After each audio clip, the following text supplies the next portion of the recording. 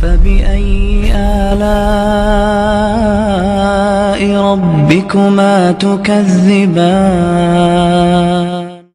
اللہ تعالیٰ کی نعمتوں پر غور کرنے سے اللہ تعالیٰ کے ساتھ محبت بڑھتی ہے۔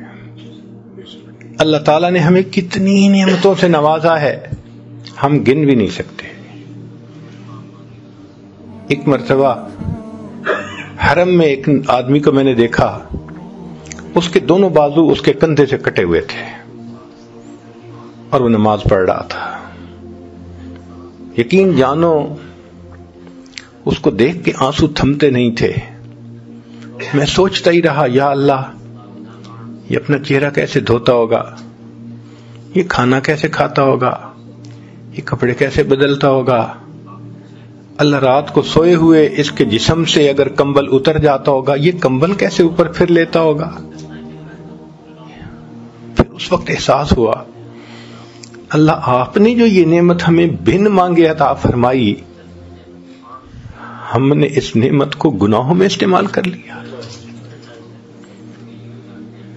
اللہ تعالی ہمیں بینائی نہ دیتے ہم اندھے ہوتے، گویائی نہ دیتے ہم گنگے ہوتے، سماعت نہ دیتے ہم بہرے ہوتے، رزق نہ دیتے ہم بھوکے ہوتے۔ پانی نہ دیتے ہم پیاسے ہوتے، کپڑے نہ دیتے ہم ننگے ہوتے۔ اللہ تعالیٰ صحت نہ دیتے ہم بیمار ہوتے۔ اللہ تعالیٰ اولاد نہ دیتے لاولد ہوتے۔ گھر نہ دیتے بے گھر ہوتے۔ اگر اللہ تعالیٰ ہمیں علم نہ دیتے ہم جاہل ہوتے۔ اگر اللہ تعالیٰ ہمیں عزت نہ دیتے ہم ذلیل ہوتے۔ اے انسان، تو جو عزتوں بری زندگی گزار رہا ہے، یہ تیرے مالک کا کرم اور احسان ہی تو ہے۔ اللہ کی رحمت کی نظر ہٹتی ہے، انسان گھر بیٹھے بٹھائے ذلیل ہو جاتا ہے۔ سروں سے دوپٹے اتر جاتے ہیں۔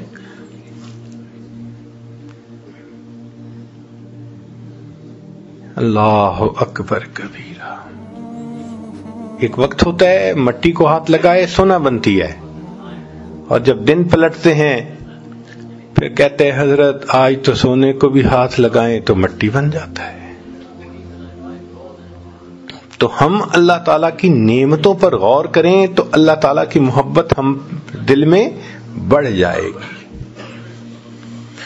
اللہ تعالیٰ کی نشانیوں پر غور کرنے سے یقین بڑھتا ہے، نعمتوں پر غور کرنے سے اللہ تعالیٰ کی محبت بڑھتی ہے اور اللہ کے وعدوں پر غور کرنے سے اعمال کرنے کی رغبت بڑھ جاتی ہے۔